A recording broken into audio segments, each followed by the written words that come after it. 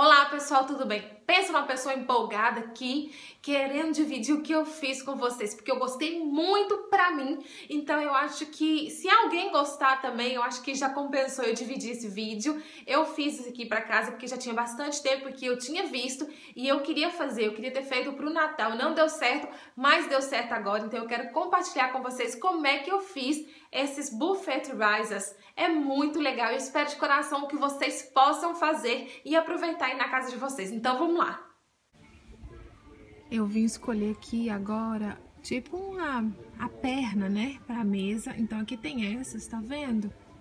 Olha só. Eu tenho esses pezinhos aqui que eu comprei para fazer a nossa mesinha. Esse aqui é menor, tá vendo? E esse aqui é maior. E eu já tenho esse aqui, tem mais de uns três anos. Eu comprei para fazer um outro projeto, mas eu vou acabar fazendo esse projeto aqui. E comprei a tábua, olha só. A largura fica da sua preferência, tá? Eu acho que pro meu espaço, essa largura aqui vai ficar legal.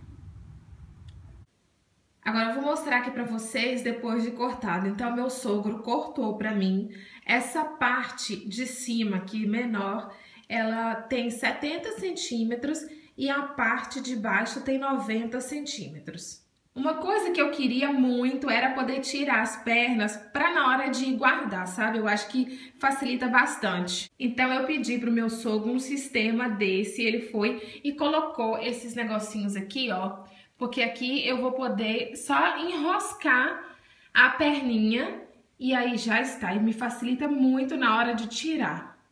Nesse menor, eu vou usar esse pezinho aqui, que ele é bem menor, então é só você chegar aqui e enroscar, ó, muito fácil. Pronto. Eu coloquei aqui só para vocês terem uma noção de como ficariam eles montados, olha só. Coloquei todas as perninhas e coloquei um em cima do outro, só para vocês terem uma noção mesmo. Você já poderia parar por aqui e deixar nesta cor natural, só que eu quero dar uma escurecida, tá? Você pode pintar da cor da sua preferência, que você achar que ficar mais versátil. O tamanho também fica da sua preferência, eu fiz esse tamanho aqui só para aproveitar a placa toda que eu tinha comprada de MDF. Como eu quero ele mais escuro, eu decidi usar um verniz. Eu estou usando esse aqui, ó, que eu já tinha em casa, mas você pode usar o que você tiver em mãos ou o que for da sua preferência, tá bom? Eu só tô usando esse aqui porque eu não queria comprar um outro, eu já tinha esse aqui em casa e é de uma cor que eu queria, tá vendo? É bem escura e é isso. Coloquei um pouco na tampinha e agora eu vou passar na peça. Então, bora começar.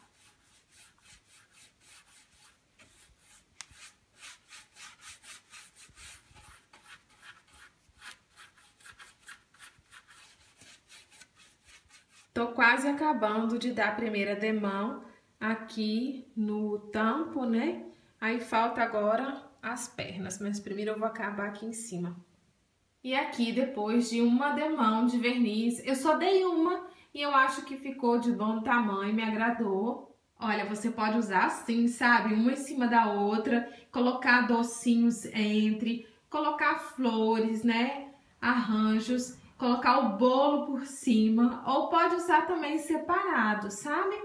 Ó, eu dei uma arrumação aqui, coloquei um de cada lado. Isso aqui é só uma simulação, viu, gente? É só para vocês terem noção de como é legal fazer esse buffet riser. Aí é só você soltar a sua imaginação e decorar da maneira que mais te agrada. Você pode expor as comidas, as taças, os pratos.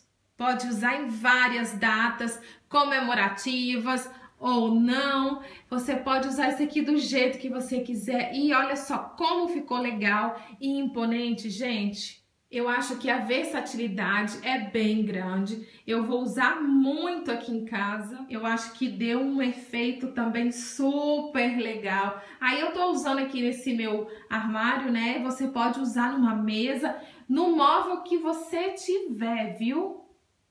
Muito legal para qualquer festa e até casamento. Eu estou assim completamente apaixonada com os dois que eu fiz. Ah, e eu também queria falar que ela tem assim, ó, 40 centímetros, eu acho que é de profundidade, sabe? Então eu fiquei com uma de 90 centímetros e uma de 70 centímetros, porém em alturas diferentes, mas todas duas né, com 40 centímetros de profundidade. Ah, mas eu tô feliz que eu consegui terminar esse projetinho e principalmente que eu consegui compartilhar com vocês. Gente, eu amei e eu espero também que vocês possam fazer, porque vai ficar assim tão versátil, a gente vai poder usar em várias ocasiões, viu? E se por acaso você colocar a mão na massa e fizer, me tagueia lá no Instagram que eu vou adorar ver as criações de vocês. Se você gostou desse vídeo, não esquece de dar um joinha pra mim, viu? Porque é muito importante. E se você acha que alguém pode se agradar também dessa ideia, compartilhe o vídeo que assim você me ajuda também. Um beijo no coração de vocês e até o próximo vídeo. E obrigada por assistir, viu? Tchau!